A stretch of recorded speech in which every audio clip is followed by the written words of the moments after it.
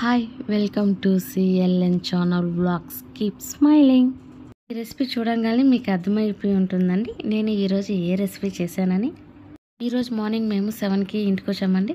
త్వరగా నేను చేయడానికి కర్రీ ఏముందని ఆలోచిస్తున్నాను. ఫ్రిడ్జ్ ఓపెన్ చేయగానే నాకు పెరుగు కనిపించింది ఇంకేముంది? ధన ధన ఫటాఫట పెరుగు పచ్చి చేసేద్దాం అనుకున్నాను. ఇప్పుడు మనం వాటికి కావాల్సిన పదార్థాలు చూసేద్దాం.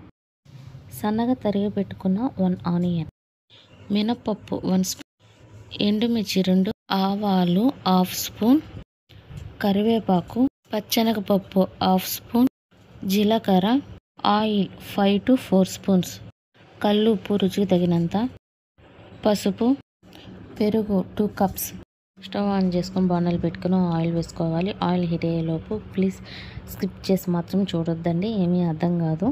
అలాగే నా ఛానల్ని సబ్స్క్రైబ్ చేయండి ఒక లైక్ ఇవ్వండి. మీకు ఈ వీడియో నచ్చితే మీ ఫ్రెండ్స్కి షేర్ చేయండి. వంట నేర్చుకునే వాళ్ళకి బ్యాచిలర్స్కి ఈ వీడియో చాలా యూస్ఫుల్ అవుతుంది.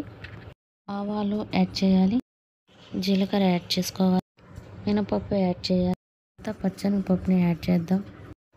తర్వాత రెండు ఎండుమిర్చిని యాడ్ చేయాలి.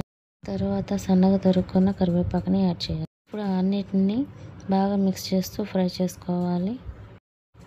ఫ్రై అయిన తర్వాత ఇప్పుడు ఆనియన్స్ని యాడ్ చేసుకోవాలి. ఆనియన్స్ కూడా కొంచెం ఫ్రై అవ్వాలి.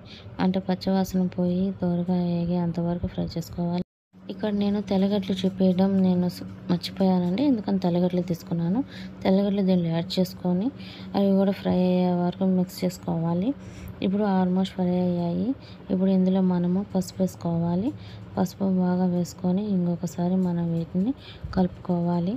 ఇవి కూడా బాగా పచ్చివాసన పోయేంత వరకు కలుపుకోవాలి. ఇవి బాగా ఫ్రై అయ్యాయి. ఇది ఆల్మోస్ట్ రెడీ అయిపోయింది. ఇప్పుడు మనం దీన్ని పెరుగులో కలుపుకోవాలి. ఒక బౌల్లో తీసుకున్న పెరుగులో మనం ఫ్రై చేసుకున్న ఆనియన్స్ పప్పు దినుసులన్నీ మనం దీంట్లో వేసుకోవాలి. కల్లుప్పు కల్లుప్పు యాడ్ చేసుకోవాలి ఇందులో. ఇప్పుడు అన్నిటిని బాగా మనం మిక్స్ చేసుకోవాలి. ఈ పెరుగులో మనం వేసుకున్న తాలింపు మొత్తం బాగా మిక్స్ అవ్వాలి.